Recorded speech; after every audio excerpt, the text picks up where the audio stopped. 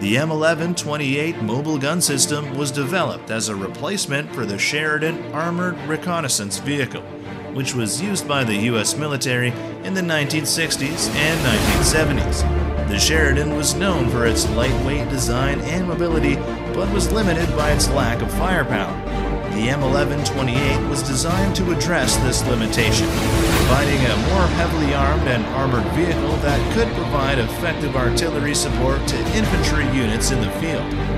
The M1128 is based on the Stryker armored vehicle platform, which provides a high level of mobility and versatility, making it well suited for use in a variety of environments, from urban to rural. The 105mm cannon on the M1128 is capable of engaging a wide range of targets, from enemy vehicles to structures, providing the infantry with effective fire support.